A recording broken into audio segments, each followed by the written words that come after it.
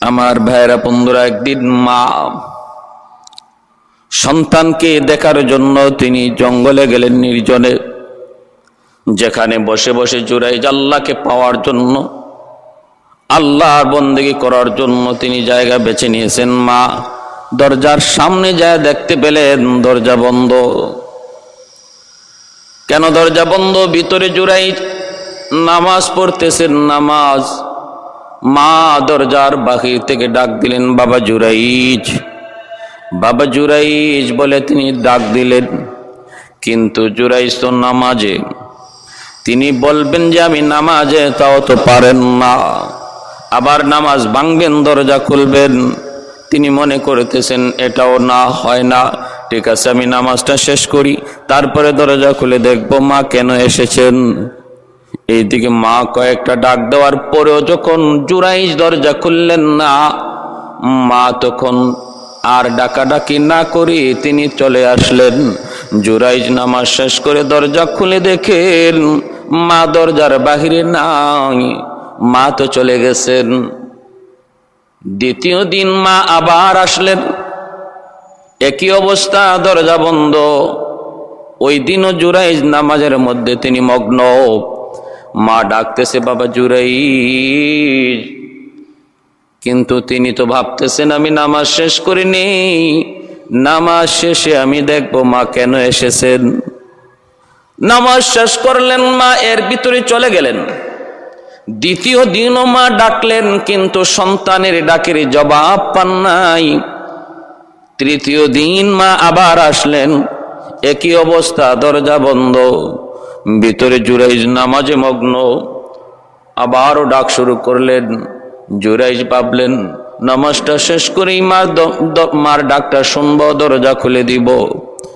ওই দিনও কিন্তু মা ডাকাডাকি করো, যখন দরজা খুললো না। মা তো আর জানেন না ভিতরে জুরাইজ নামাজে মগ্ন। তিনি তো আর জানেন না, বুঝেন না। মা চলে যাচ্ছেন, কিন্তু তিন দিন সন্তানের সারা না পাওয়ার কারণে সন্তানের, সন্তানকে না দেখার কারণে দরজা না খোলার কারণে মা ভীষণ কষ্ট পেলেন। কষ্ট পেয়ে মা ফিরে যাইতেছে আর একটা বদুয়া দিয়ে যাচ্ছেন। মা যাইতেছে আর বলতেছে, তিন দিন আসলাম, তোরে ডাকলাম, কিন্তু তুই দরজা খুললি না। তুই তোর বন্দিগিতে লিপ্ত, ঠিক আছে? তুই তোর বন্দিগি লইয়া থাক। তুই তোর বন্দিকে লইয়া থাক, আমি মার প্রয়োজন নাই, আর আমারও তোর প্রয়োজন নাই। আল্লাহ যেন তোর এই মৌতের আগে বেশ্যা কোনো নারীর ফান্দে ফালায়। নওজুবিল্লাহ এ ভাই, মার দোয়া বদুয়া বাবার দোয়া বদুয়া সন্তানের জন্য সরাসরি আল্লাহর দরবারে কবুল।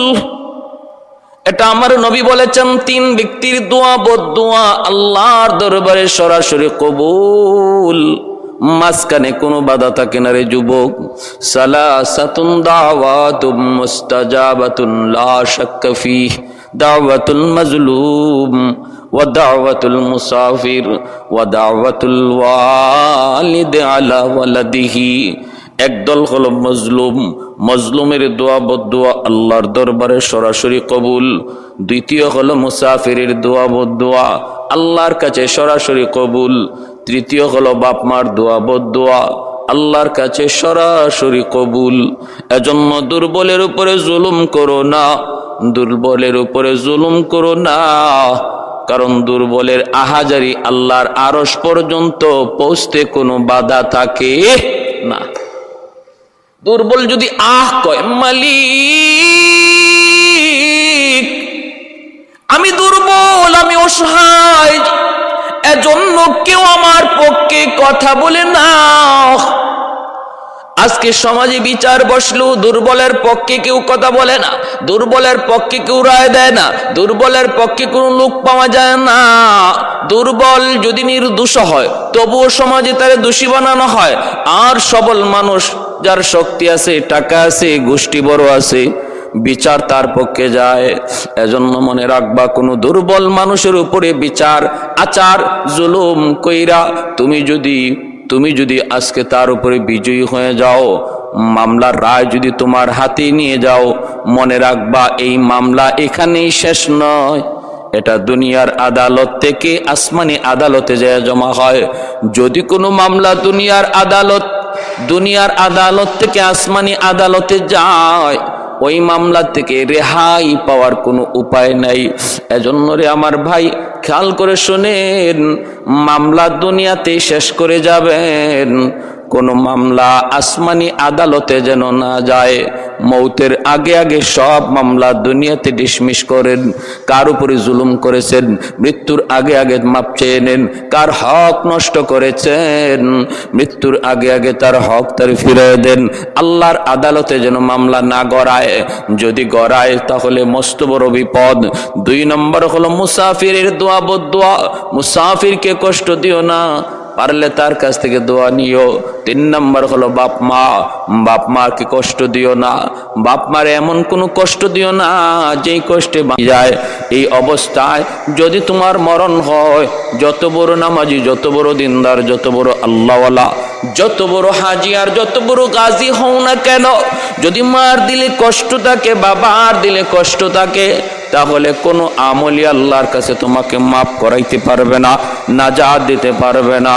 মৌতের আগে আগে মাকে খুশি করো, বাবাকে খুশি করো, তাহলে সমস্ত এবাদতের হিসাব আল্লাহর কাছে পাইবা, আর নতবা কোনো হিসাব মিলবে না। ভাইয়েরা, বন্ধুরা, জুরাইজির মা চলে যাইতেছেন আর ভাবতেছেন, আর বদুয়া দিচ্ছেন। তিন দিন তোর কাছে আসলাম, ডাকাডাকি করলাম, কেন আসলাম আমি মা? এদূর পর্যন্ত তুই জানার চেষ্টা করলি না। তুই তোর নামাজে মগ্ন, ঠিক আছে, তুই নামাজেই থাক, তুই তোর বন্দিগিতেই থাক, তুই তোর জিকিরাজকারেই থাক। আমার প্রয়োজন নাই, তোরে যেন মৌতের আগে আগে আল্লাহ কোনো বেশ্যা নারীর ফান্দে ফালায় নওজবিল্লা এ যুব মনে কইরো না, মনে কইরো না, আমার বন্দগির দ্বারা আমি আল্লাহর কাছে পার পেয়ে যাব। মনে কইরো না আমি বহুত বড় বুজুর্গ, আমি বহুত বড় অমুক, আমি বহুত বড় তমুক। মার সামনে কোনো বুজুর্গি চলে না। বাপ মার সামনে কোনো চেয়ারম্যানি মেম্বারি এমপিগিরি মিনিস্টারগিরি চলে না। দুনিয়ার যত ক্ষমতা, যত পাওয়ার, সমস্ত পাওয়ার মায়ের পায়ের নিচে, মায়ের পায়ের নিচে। এমনকি নবীদের নবুয়াত পর্যন্ত মার সামনে কিছুই না। আল্লাহর নবী, রহমতের নবী সাহাবাই কেরামদেরকে নিয়ে নবী যে রানা নামক জায়গার মধ্যে নবী বসা। হঠাৎ করে সাহাবাই কেরাম দেখতেছেন, আমার দিনের নবী, মায়ার নবী তিনি মজলিস থেকে উঠে গেলেন। ওইটাই নবী দৌড় শুরু করলেন। সাহাবাই কেরাম অবাক, নবী কোথায় যান? কোথায় যান? তাকায় দেখেন একজন বৃদ্ধা মহিলা লাঠিতে বর দিয়া বর দিয়া নবীর দরবারের দিকে আসতেছে। আর আল্লাহর নবী ওই মহিলার দিকে তিনি দৌড় শুরু করলেন। সাহাবায় কেরাম তারাও পিছনে পিছনে যাইতে লাগলেন। সাহাবারা দেখতেছেন ওই মহিলা, বৃদ্ধা মহিলা লাঠিতে পর দিয়া কষ্ট করে করে নবীর দরবারের দিকে আসতেছেন। আর নবী ওই মহিলাকে আগায়া আনার জন্য তিনি হাইটা নয়, দৌড়ায় যাইতেছেন। আল্লাহর নবী কাছে যাইয়া, কাছে যাইয়াই নবী বলতেছেন, মা ও মা, কষ্ট করে নবীর দরবারে কেন আসলো? মাগো তুমি যদি আমাকে খবর পৌঁছাইতাম, আমি নবী তোমার দরবারে হাজির হয়ে যেতাম। আমার কাছে তুমি কষ্ট করে কেন আসলা গো মা? নবীর নবুয়ত মায়ের সামনে কিছুই না। এই বলি আমার নবী রহমতের নবী, তার নবুয়তি চাদর নবুয়তি চাদর আমার নবীর নবুতি চাদর। ওই চাদরখানা নবী মাটিতে বিছায় দিলেন। বিছায় দিয়ে নবী বলতেছেন, মা গো, মা, তুমি নবীর নবুতি চাদরে বসে পড়ো। নবীর নবুতি চাদরে বসে পড়ো। ও মা, তোমার জুতা খোলা লাগবে না, পায়ের ধুলাবালি পরিষ্কার করা লাগবে না। ওই ধুলাবালি সহ নবীর নবুতি চাদরে বসে যাও। তোমার পায়ের ধুলার বালিতে আমার চাদর ধন্য হবে। সাহাবাই কেরাম বলে, নবী গ, কে গো নবী? কি তার পরিচয়? এত দামি মহিলা সে কে যে নবীর চাদরে পায়ের ধুলা বালিশও বসে গেল? যার পায়ের ধুলাতে নবীর নবতী চাদর দন্য হবে বললেন, নবী গো, তিনি কে? তিনি কে? কি তার পরিচয়? এত বড় মহিষী নারী তিনি কে? কি তার পরিচয়? একটু জানান। আল্লাহর নবীর চোখ দিয়ে তখন একটু অশ্রু ফুটু, অশ্রু ঝরতে লাগল। চোখের কোনায় নবীর অশ্রুর ফুটা জমে গেল। নবী তখন বলতেছেন সাহাবিনা শোনো, তোমরা তো জানো, তোমরা তো জানো জানো। আমি নবী জন্মের আগেই বাবা হারাইছি। তারপরে কিছুটা বুঝ হওয়ার পর মা হারাইলাম। কিন্তু তাও তো জানো আমি নবীকে একজন মহিলা দুধ খাওয়ায় বড় করছেন নবীর দুধমার নাম তোমরা শুনেছ। সাহাবিরা বলে, নবী গো, আপনার দুধমার নাম হলো হালিমা সাদিয়া। হালিমা সাদিয়া। নবী তখন চুকের পানিটা মুছেন আর বলেন, সাহাবিরা রে তোমরা শুধু নবীর দুধমার নাম শুনেছ, হালিমা হালিমা। কোনদিন হালিমা সাদিয়াকে দেখো নাই। আজকে নিজের চোখে দেখে নাও, নবীর নবতী চাদরে যিনি বসলেন, তিনি আর কেউ নন। তিনি হলেন নবীর দুধমা, যার নাম হলো হালিমা সাদিয়া। যার নাম হলো হালিমা সাদিয়া। তিনি তোমাদের নবীর দুধমা। তিনি হলেন নবীর দুধমা। আল্লাহর নবী বুঝাইলেন সাবিরা রে মনে রেখো, মার সামনে আমি নবীর নবুয়ত কিছু না। আমি নবীর নবুয়ত কিছুই না। এজন্য এজন্য যুবক, মনে রেখো, তুমি যত কিছুই হও না কেন সন্তান তুমি যত বড়ই হও না কেন, দুঃখিনী, মার সামনে তুমি কিছুই না। কারণ তোমার জীবনে যত পাওয়া, সব কিছুর পিছনে মায়ের দোয়া। তোমার জীবনের সব কিছুর পিছনে বাপ মার দোয়া। সাবধান মনে রেখো, আমার কোনো আচরণে যেন মা কষ্ট না পায়। যদি কষ্ট পায়া অন্তর থেকে বদুয়া দিয়া দেয়, ওই বদুয়া কিন্তু আল্লাহর আরস পর্যন্ত পৌঁছতে কোনো বাধা থাকে না। জুরাইজের মা বদুয়া দিলেন কি? আল্লাহ যেন তোর মৌতের আগে কোনো ব্যবসা নারীর ফান্দে ফালায়। কবুল হয়ে গেছে আল্লাহর দরবারে। হয়ে গেছে? হয়ে গেছে?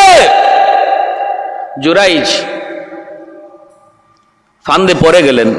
কি ছিল সেই ফান ফান হলো ওই জঙ্গলে এক রাখাল। একটা মেয়ের সাথে অপকর্ম করল, আর মেয়েটা গর্ভবতী হলো।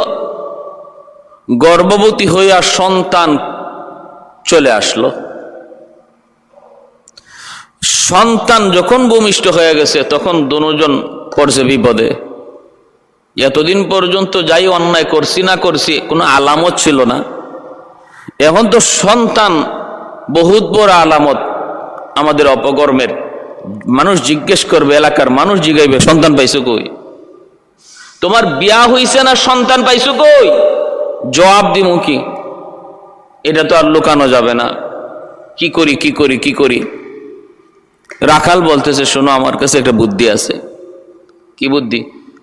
বুদ্ধি হলো তুমি যদি আমার কথা বলো যে এই সন্তানের বাপ আমি, তাহলে আমি হইলাম একটা সাধারণ রাখাল।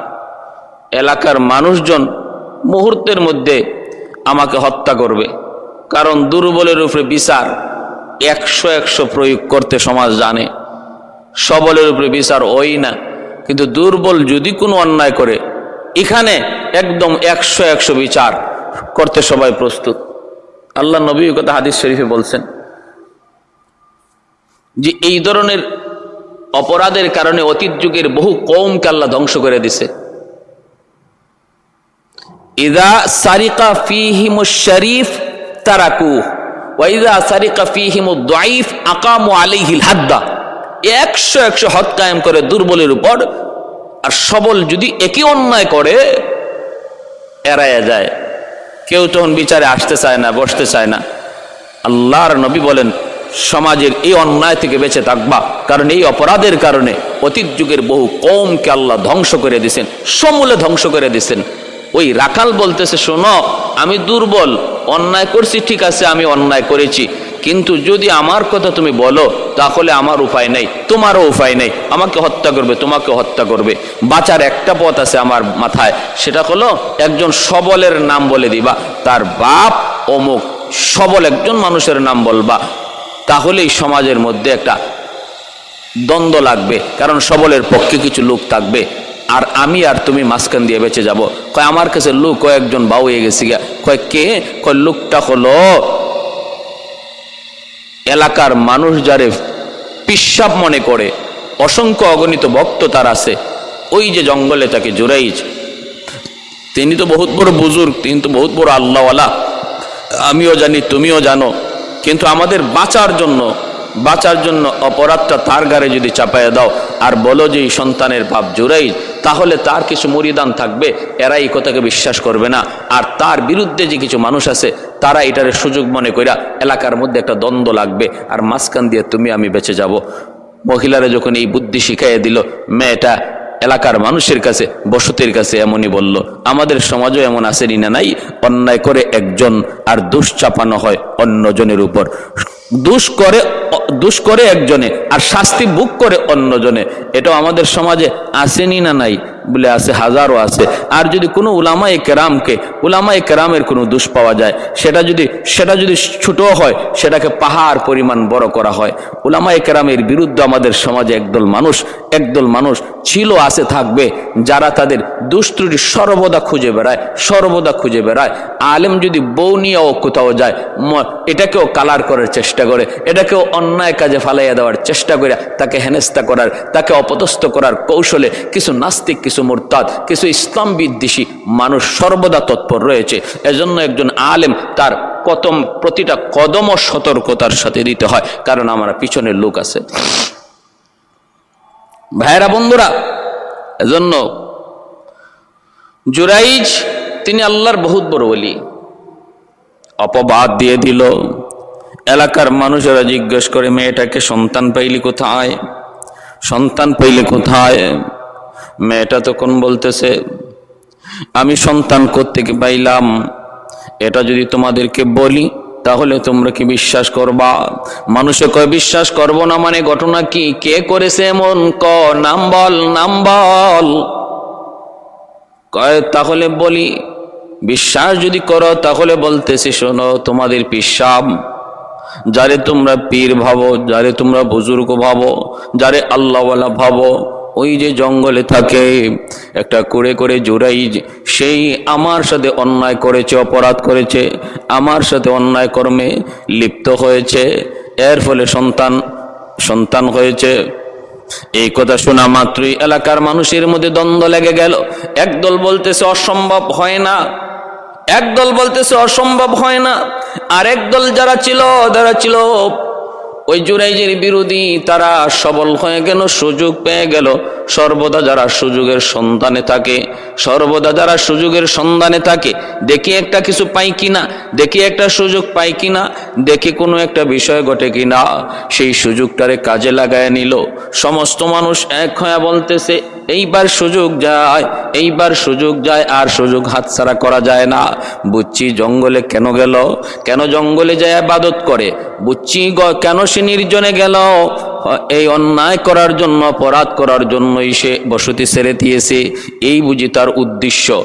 এই বইলা এলাকার মানুষ বেশিরভাগ মানুষ সমবেত হইয়া যখন রওনা দিল, এলাকায় কিছু বিরোধী দল দাঁড়াইল, কিন্তু না মারামারি এলাকায় হলো।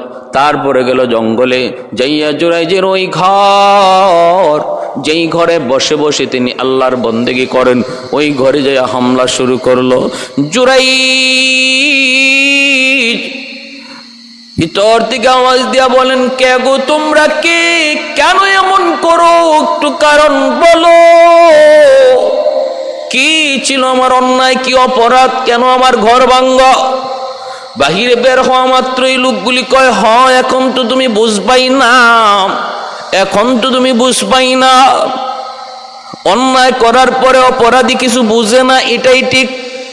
অন্যায় করার পরে অপরাধী কিছু বুঝে না, নিজের নির্দোষ বলে এটাই তো বাস্তবতা। তুমি তো এখন বলবা, আমি কিছু বুঝি নাই, আমি কিছু করি নাই। বলে কি ঘটনা বলো? কই মেয়েটারে জিজ্ঞেস করো? কি ব্যাপার বলো? মেয়েটারে জিজ্ঞেস করতেছে, এলাকার মানুষে মেয়ে, বল বল, বিয়ে সারা তোর কাছে সন্তান আসলো কেমন করে? মেয়েটা তখন বলতেছে, আমার সন্তানের বাবা হলো এই জুরাইজ। নাউজবিল্লা আল্লাহর ওলি জুরাই আসমান ভেঙ্গে যেন মাথায় পড়ল। এত বড় এত বড় জিনার অপবাদ জিনার অপবাদ একদম আল্লাহর ওলির উপরে। জুরাইজ অবাক হয়ে গেলেন, আসমান ভেঙ্গে যেন মাথায় পড়ল। তিনি বুঝে ফেললেন, কোন বহু, বহুত বড় পরীক্ষার সম্মুখীন হয়েছেন আল্লাহর তরফ থেকে। অন্যায় তার হয়ে গেছে, অপরাধ হয়ে গেছে, কোনো একটা অপরাধ হয়েছে। যে অপরাধের কারণে তিনি এত বড় পরীক্ষার সম্মুখীন হয়েছেন। আল্লাহওয়ালারা যখনই কোনো বিপদে পড়ে, যখনই কোনো মুসিবত হয়, তখনই তারা নিজের দিকে খেয়াল করে, আমার কোন অন্যায় হলো, কোন অপরাধ হলো, আমার কোন গুণা হয়ে গেল, আমার দ্বারা কোন ত্রুটি হয়ে গেল, আমার জীবনের যত বিপদ, যত মুসিবত সব কিছু আমার কোনো না কোনো অন্যায়ের কারণে। জহারাল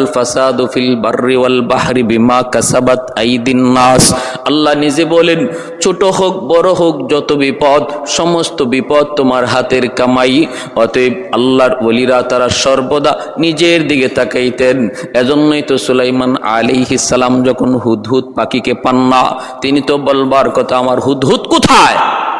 হুদহুদ গেল কোথায়? এর কি হলো? কিন্তু সুলাইমান আলী ইসলাম হুদহুদের কি হলো এই প্রশ্ন না করে বলতেছেন, মা লিয়ালা আরাল হুদহুদা। আমার কি হলো? আমি যে সুলাই, আমার এত বড় নিয়ামত হুদহুদকে পাচ্ছি না। আমার কি হলো? তার মানে আমার দ্বারা কি ভুল হয়ে গেল, কি ত্রুটি হয়ে গেল? আল্লাহর অলরা সর্বদা নিজের দিকে তাকান। এজন্য মনে রাখবেন, আমার কোনো একটা নিয়ামত যদি কখনো ছিনায় যায়, কখনো চলে হাতছাড়া হয়ে যায়, অথবা কোনো একটা বিপদে আমি পড়ে যাই, যেটাতে পড়বার কথা না, সেটার মধ্যে আমি পড়ি, তখনই বুঝতে হবে এটা আল্লাহর পক্ষ থেকে আমার চলার পথে একটা হুচট খাওয়ানো, আমার চলার পথে একটা হুচট খাওয়ানো, যেন আমি থেমে যাই, আমি ভুল পথে চলতেছি, আমার দ্বারা ভুল হচ্ছে, আল্লাহ থামায় দেওয়ার জন্য, আমার জীবনের গতি বেগ, আমার জীবনের গতিটারে আটকায় দেওয়ার জন্য এমন একটা হুচট খাওয়ান। সতর্ক মানুষ যারা যারা সতর্কতার সাথে চলে, তারা এটা বুঝতে পেরে সেখান থেকে ব্যাক করে, ভুল হলে তওবা করে। জোড়াই, তিনিও বুঝতে পারলেন যে আমার এমন কোনো না কোনো একটা ভুল অবশ্যই হয়েছে, যাতে আল্লাহ নারাজ। যার কারণে আমি এই পরীক্ষার সম্মুখীন। কি সেই ভুল? চিন্তা করে পেয়ে গেলেন আমার মা। আমার মা একদিন নয়, তিন দিন এসেছেন। আমি নামাজি ছিলাম, মার কথায় সারা দেই নাই। হয়তো এতে আল্লাহ নারাজ হয়ে গেছেন, নারাজ। এখন আমার আপনার প্রশ্ন হলো, নামাজ পড়ি কার জন্য? আল্লাহর জন্য। এইদিকে আল্লাহর জন্য নামাজ পড়লাম, নামাজ ভাঙলাম না, মা ডাক দিল, বাবা ডাক দিল।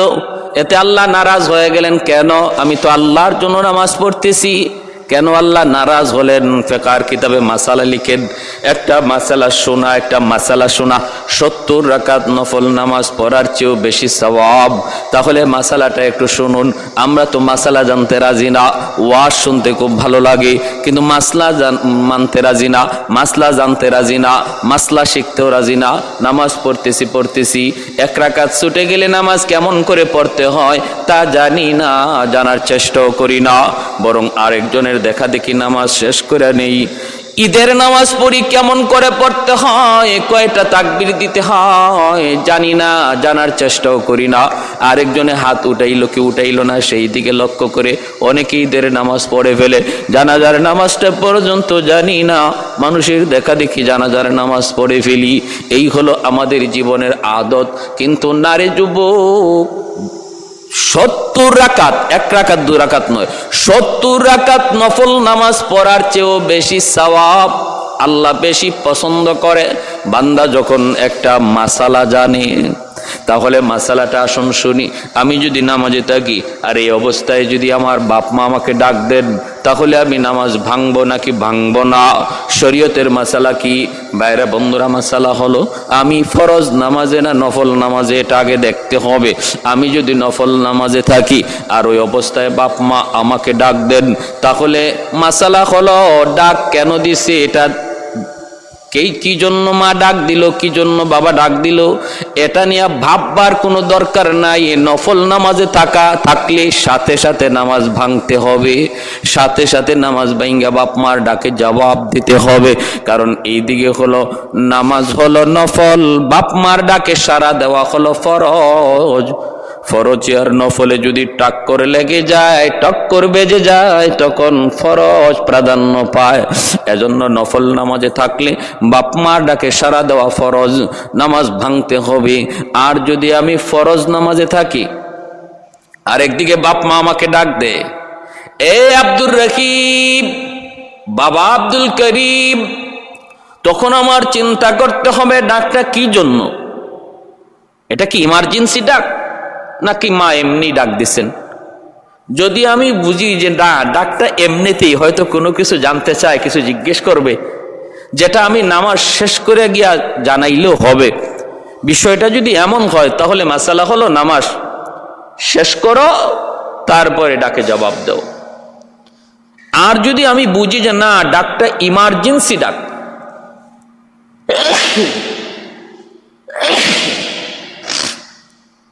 ইমার্জেন্সি ডাক যদি বুঝি যে মা বিপদে পড়ে আমাকে ডাক দিছে, অথবা বাবা বিপদে পড়ে আমাকে ডাক দিছে, ডাকের ধরনে কয়। তখন মাসালা হলো ফরজ নামাজ সাথে সাথে ভাঙতে হবে আর বাপ মার ডাকে জবাব দিতে হবে। এখানে ফরজে ফরজে টাক্কর, কিন্তু প্রাধান্য পাবে মার বাবা ইমার্জেন্সি ডাক। হয়তো মা হুচট খায় পড়ে গেছে অথবা বাবা বাথরুমে গিয়া মাথা ঘুরায় পড়ে গেছে। আর ডাক দিছে, কোথায় বেটা? কোথায়? তাড়াতাড়ি আসো, আমার একটু ধরো। এই অবস্থা এই এই রকম কোনো বিপজ্জনক কোনো ডাক শুনলে পরে মাসালা হলো, ফরজ নামাজ ভাঙ্গ, ডাকে সারা দাও। জুরাইস তিনি চিন্তা করলেন, আমি নামাজে ছিলাম নফল নামাজ। হয়তো আমার মা আমার ডাকে জবাব না পায় মা কষ্ট পেয়েছেন, আর মা কি যেন বীরবিরা একটা বদুয়া দিয়ে গেছেন। সাথে সাথে জুরাইজ বলতেছেন, আমার গন্ডগোল কোথায়? আমি বুঝে ফেলেছি।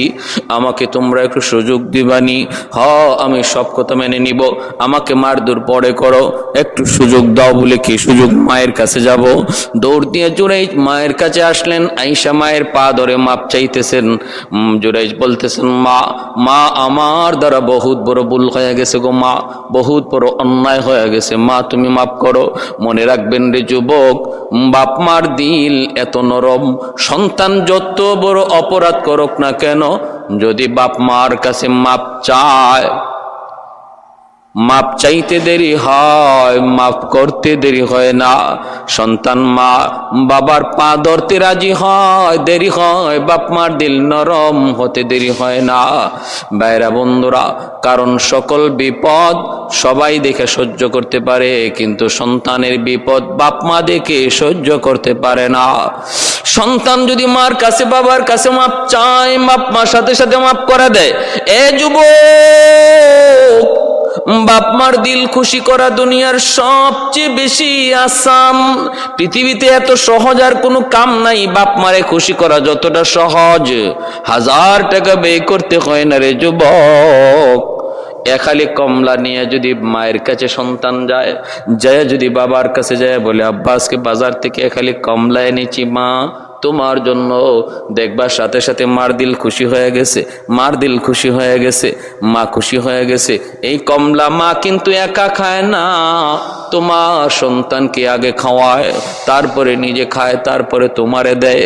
আরে যুবক, কমলাটা যদি সন্তানের হাতে না দিয়া, বিবির হাতে না দিয়া, তুমি তোমার মায়ের হাতে দেও, বাবার হাতে দেও দেখবা মার দিল খুশি হয়ে গেছে, মার দিল খুশি হয়ে গেছে। আমার সন্তান, বাজারে গিয়েও আমার কথা ভুলে নেই। বাজারে যাওয়ার আগে যদি জিজ্ঞেস করো, মা গো, মা তোমার ঔষধ আসেনি? বাবা, তোমার ঔষধ আসেনি। বাজারে যাওয়ার আগে মার কাছে জিজ্ঞেস করে যাও। মার এতটুকু জিজ্ঞেস করায় মার দিল খুশি হয়ে যায়। সন্তান বাজারে যাইতেছে, আমার কথা খেয়াল করছে। বাজার থেকে আসার সময় মার কথা খেয়াল করছে, খুশি হয়ে গেছে। রেদর রব্বি ফি রেদাল ওয়ালিদাইন ও সাকাতুর রব্বি ফি সাকাতিল ওয়ালিদাইন, আও কামা ক্বালান নবী আলাইহিস সালাম। নবী বলেন, সন্তান যদি বাপ মারে খুশি করে, আল্লাহর সাথে সাথে তার উপর খুশি হয়ে যায়। সন্তান যদি বাপ মারে নারাজ করে, আসমানের মালিক সাথে সাথে নারাজ হয়ে যায়। জুরাই মায়ের পা ধরে যখন মাপটায় চুকির পানি ঝরাইয়া, মা গো, আমি বুঝে ফেলেছি, আমি এত বড় কঠিন পরীক্ষায় কেন পড়লাম? ও মা, আমি বুঝে ফেলেছি মা, আমাকে মাফ করো। তুমি মাফ না করলে বিপদ থেকে উদ্ধার পাওয়ার কোনো সুযোগ নাই। মার দিল সাথে সাথে খুশ হয়ে গেছে। মা টান দিয়ে বুকে তুইলে কপালে চুমা খায়। মা যখন মাফ করে দিছে জুরাই যাবার ওই মানুষগুলার কাছে আসলেন। মানুষগুলি দাঁড়াই রইছে। জুরাই যাইসা বলেন, আমি এসেছি আমি এসেছি, এবার ফয়সলা হয়ে যাবে। কি বলতেছে তোমরা বলো? এই মহিলা তুমি বলো, কি বলতেছ? মহিলা বলতেছে, আমার সন্তানের বাবা আপনি জুরাইজ বলতেছেন, ঠিক আছে, আমি যদি সন্তানের বাবা হই, আর এই মুহূর্তে আমি যদি বলি, আমি না, আমি নির্দোষ, আমি অন্যায় করি নাই, তোমরা আমার কথা বিশ্বাস করবা না। কারণ মহিলা নিজে বলতেছে, মেয়েটা নিজে বলতেছে, তোমরা আমার কথা বিশ্বাস করবা না।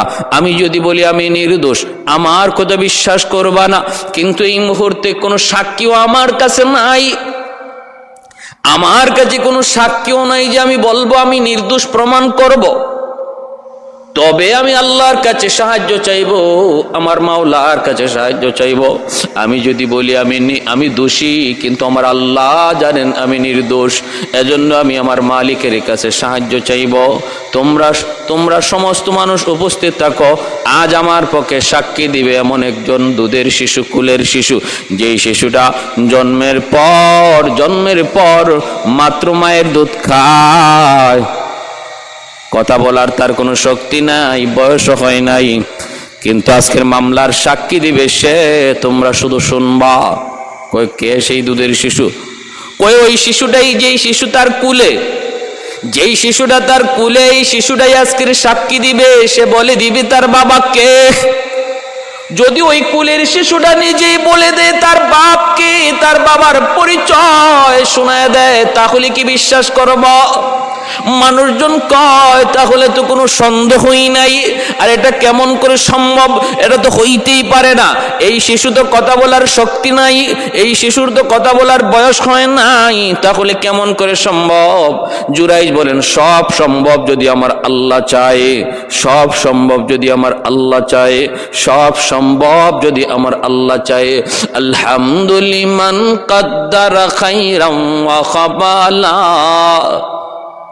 الحمد لمن قدر خيرا وخبالا والشكر لمن صور حسنا وجمالا والشكر لمن صور حسنا وجمالا فرد صمد عن صفة خلق بريء رب أزلي خلق الخلق كمالا لا ضد ولا ند ولا حد لمولاه لا ضد ولا ند ولا حد لمولاه الآن كما كان ولم يلق زوالا.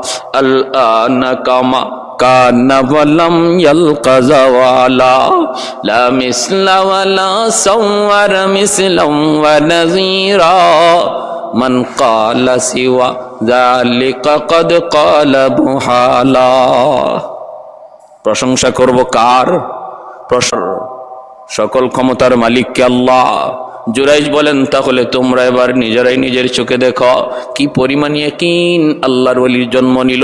এখন আমার সাথে আমার মায়ের দোয়া আছে, অতএব আমি বিপদে পড়ব না, আল্লাহ আমাকে বিপদে ফালাইবেন না। এতক্ষণ পর্যন্ত মায়ের দোয়া ছিল না, মার অন্তরে কষ্ট ছিল জন্য বিপদ। বাইরার জন্যই তো মৌসা কালিমুল্লাহ তিনার আম্মা যেদিন মারা গেলেন, আল্লাহ বলতেছেন, মৌসা, এখন থেকে হুশে ঘুষে কদম বাড়ায়। এতদিন পর্যন্ত মা ছিল, মার দোয়াও পিছনে পিছনে ছিল। আজ তোমার মা দুনিয়ায় নাই, মার দোয়াও তোমার পিছনে নাই। অতএব মুসা, কদম হুসে ঘুষে বাড়াইও। এত বড় পয়গম্বরে আল্লাহ কি সবক দিতেছে আল্লাহ? কয়, মুসা, বিপদ বিপদ বিপদ থেকে উদ্ধার করেছি আমি আল্লাহ, কিন্তু পিছনে মায়ের দোয়া আজ পিছনে মায়ের দোয়া নাই। সামনের দিকে আগাইতে হুসে ঘুষে হাঁটো। ও ভাইরা বন্ধুরা জন্যই বলতেছি এজন্যই খেয়াল করুন জুরাই তখন বলতেছেন, আমি তোমাদেরকে দেখায় দিব, এই বইলা তিনি ওই দুধের শিশুটার দিকে, দুধের শিশুটার কাছে যায় তার পেটের মধ্যে আঙ্গুল দিয়ে গুতা দিলেন। গুতা দিয়ে বলতেছেন, ক দেখি, তোর বাবা কি? ক, তুই মানুষকে জানায় দে তোর বাবা কি আঙ্গুল দিয়া। যখনই এই দুধের বাচ্চার পেটের মধ্যে গুতা দিলেন, সাথে সাথে এই বাচ্চার জবান খুলে দিলেন কে? আল্লাহ।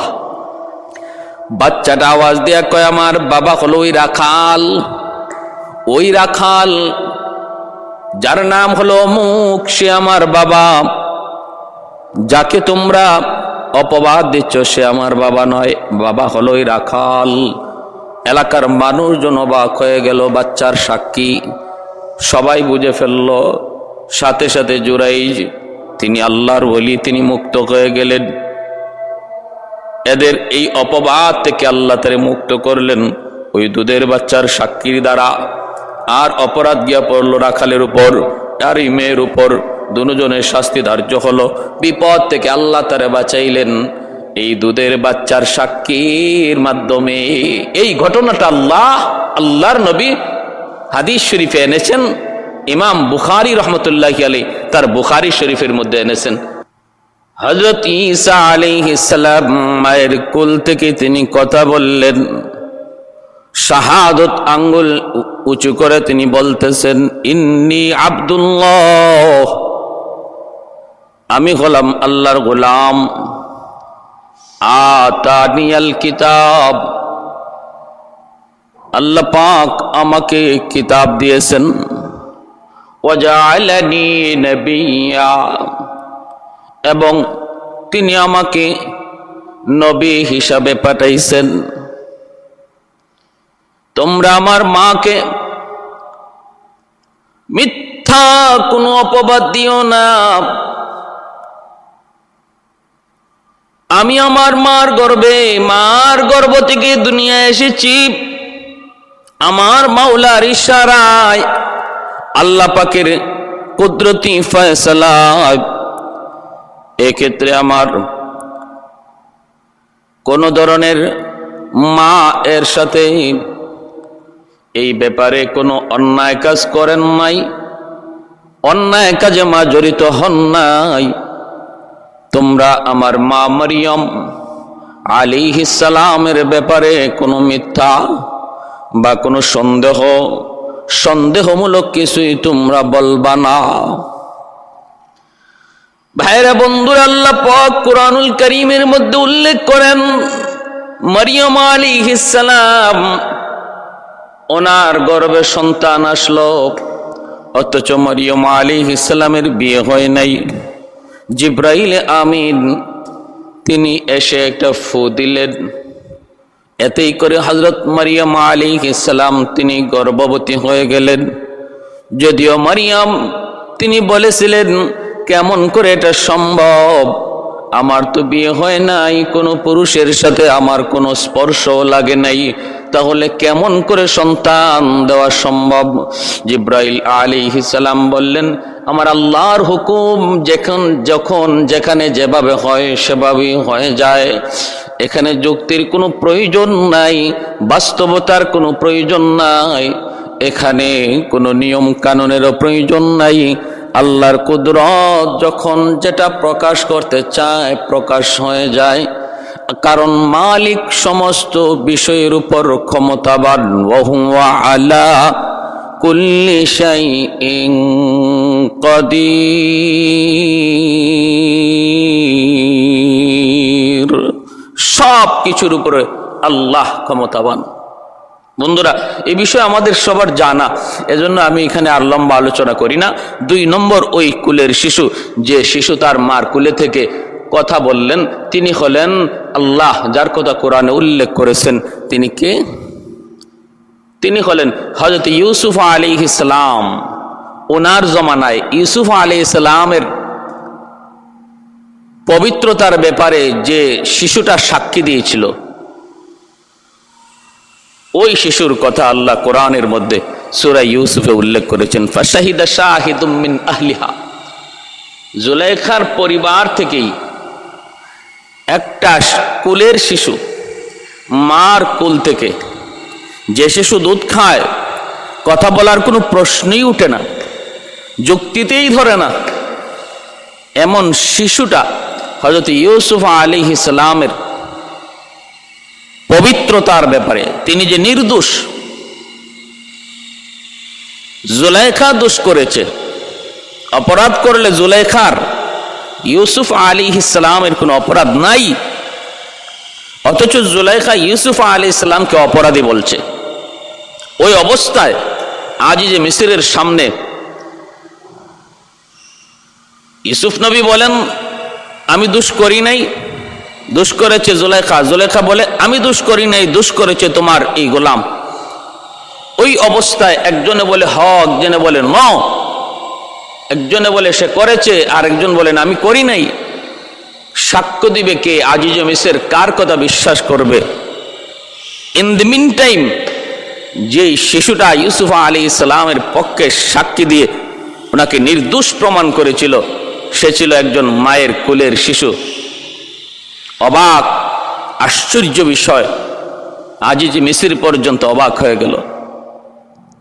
জুলাইকা একটা নয়, দুইটা নয়, সাতটা গেটের ভিতরে ইউসুফ আলী ইসলামকে নিয়ে ঢুকলো। তাকে নিয়ে অপরাধ করার জন্য, অপরাধ করানোর জন্য। কিন্তু আল্লাহর পায়গম্বর সৈয়দুনা ইউসুফ, তিনি সাথে সাথে অস্বীকার করলেন। তিনি বললেন, অসম্ভব, এমনটা আমি করতে পারব না। অন্যায় কাজে জড়িত হতে পারব না। কারণ আমার মালিক আমাকে দেখতেছেন। জুলেখা বলতেছে, দেখো, কেউ নাই কেউ নাই। সাতটা গেইটের ভিতরে তোমাকে ঢুকাইছি ইউসুফ। তোমার মালিক দেখতেছেন যদি বলো, তাহলে দেখো মালিকের মুখটাও ডেকে দিলাম। কারণ তার ওই রুমে ছিল একটা দেবতা। ওই দেবতার মুখটা কাপড় দিয়া ঢাইকা, জুলেখা বলতেছে, ইউসুফ মানুষ তো দেখে নাই, এমনকি মানুষ দেখার প্রশ্ন ওঠে না। যেই মালিকের কথা বলছো, সেই মালিকের মুখটাও কাপড় দিয়ে ডেকে দিলাম। অতএব আর কোনো টেনশন নাই, কেউ দেখে নাই, কেউ শুনে নাই, কেউ শুনবেও না, কেউ দেখবেও না। সৈয়দনা ইউসুফ আলী ইসলাম বললেন, জুলাইখা, তুমি তোমার যাকে মালিক হিসাবে মনে করো, মাবুদ মনে করো। তুমি তোমার মাবুদের মুখ ঢাকতে পারো। কিন্তু আমি যাকে মাবুদ মনে করি, আমি যার বন্দেগি করি, গোলামি করি, তার মুখ কখনো ঢাকা যায় না।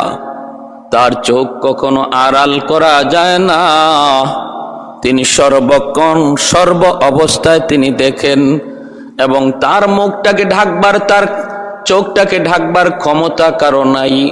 তিনি হলেন আমার আল্লাহ। যিনি সর্বত্র বিরাজমান, যিনি সর্বত্র হাজির ও নাজির, অতএব আমি অসম্ভব, আমি এই মন্দ কাজে জড়িত হব না।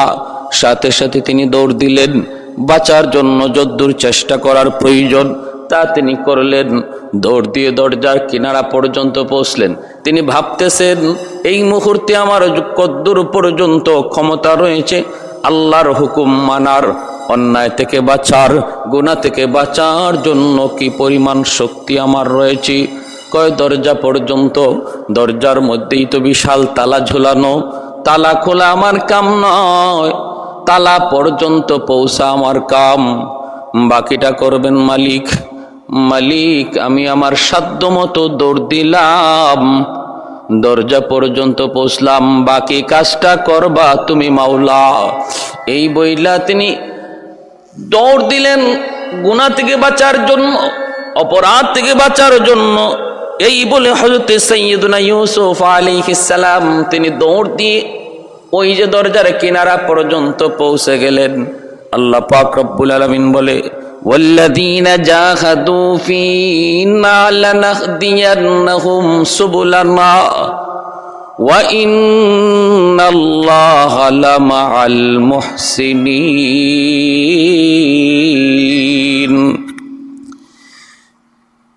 আল্লাহ পাক বলেন বান্দা আমাকে পাওয়ার জন্য যখন সামনে আগায় আমি আল্লাহ তার সামনে রাস্তাগুলি সব আসান করে দিই আমাকে পাওয়ার জন্য যখন বান্দা সামনে অগ্রসর হয় আমি তার সামনের রাস্তাগুলি সব খুলে দেই। তখন আমি তার পথে সাহায্য করি। তাহলে বোঝা গেল আল্লাহকে পাওয়ার জন্য যখন চেষ্টা করে, তখন আল্লাহ সাহায্য নাজিল হয়। চেষ্টা না করলে আল্লাহ তারে সাহায্য করতে আগান না। আমি আল্লাহকে পাওয়ার জন্য এক কদম যদি সামনে আগাই, আল্লাহ পাক আমার কাছে সামনে আমাকে পাওয়ার জন্য মালিক দুই কদম সামনে আগান। হাদিসে কুৎসির মধ্যে এসেছে, মান তাকর্রবা ইলাইয়া শিবরান, তাকর্রবতু ইলাইহি জিরা ওয়ামান তাকর্রবা ইলাইয়া মাশিয়ান, তাকর্রবতু ইলাইহি হারওয়ালা। আল্লাহ পাক বলেন এক কদম তুমি সামনে আগাও। তোমাকে কোলে নেওয়ার জন্য আমি আল্লাহ দুই কদম সামনে আগাবো। আমাকে পাওয়ার জন্য তুমি পায়ে হেঁটে আগাও। আমি আল্লাহ তোমাকে কোলে নেওয়ার জন্য দৌড়ে সামনে আগাবো। মিনাল্লাহ। আমার আপনার কাম হলো চেষ্টা করা। আমার আপনার কাম হলো চেষ্টা করা। গন্তব্যে পৌঁছে দিবেন আল্লাহ। গন্তব্যে পৌঁছে দিবেন আল্লাহ। সৈয়দনা ইউসুফ আলী সালাম, তিনিও আল্লাহকে পাওয়ার জন্য দৌড় দিয়া সাধ্যমতো তিনি দরজা পর্যন্ত পৌঁছে গেলেন। বাকিটা করবেন আল্লাহ। সাথে সাথে আল্লাহ পাক ওই তালাটা কুদরতি ভাবে আল্লাহ খুলে দিলেন। ইউসুফ আলী ইসলাম দৌড় দিয়া দরজা পার হলেন। সামনে আর একটা দরজা ওখান পর্যন্ত গেলেন। বাকিটা করলেন আল্লাহ। সামনে আরেকটা দরজা, দৌড় দিয়ে ওই পর্যন্ত গেলেন। বাকিটা করলেন আল্লাহ। একে একে সাতটা তালা কুদরতি ভাবে আল্লাহ পাক খুলে দিলেন। সাতটা গেট পাড়ি দিয়া যখন সামনে আগান, পিছনে জুলেখা জুলেখা ইউসুফ আলী ইসলামের পিছনে পিছনে দৌড়ায়। ইউসুফ আলী ইসলাম সামনের দিকে দৌড়ান। জুলেখা পিছন থেকে ইউসুফ আলী ইসলামের জামা ধরে টান দিল, জামাটা ছিঁড়ে গেল।